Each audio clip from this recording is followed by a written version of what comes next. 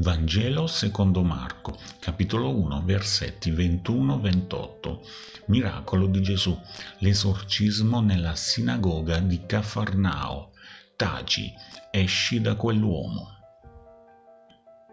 Non è chiaro quale sia l'ordine cronologico esatto dei miracoli di Gesù, quelli che ha fatto quando era in vita sulla terra, ma tra questi ve n'è uno descritto molto bene nel Vangelo secondo Marco, al capitolo 1, versetti dal 21 al 28. Mentre Gesù stava insegnando nella sinagoga di Cafarnao, un uomo gridò contro di lui, imprecando, e Gesù gli ordinò di tacere. Poi scacciò il demone che lo possedeva. Tutti i presenti rimasero increduli e la fama di Gesù si espanse per tutta la Galilea velocemente. Dal Vangelo secondo Marco, capitolo 1, versetti 21-28.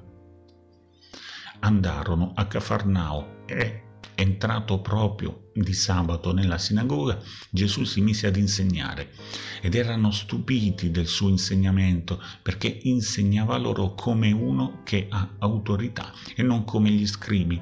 Allora un uomo che era nella sinagoga, posseduto da uno spirito immondo, si mise a gridare. Che c'entri con noi, Gesù Nazareno? Sei venuto a rovinarci. Io so chi tu sei, il santo di Dio.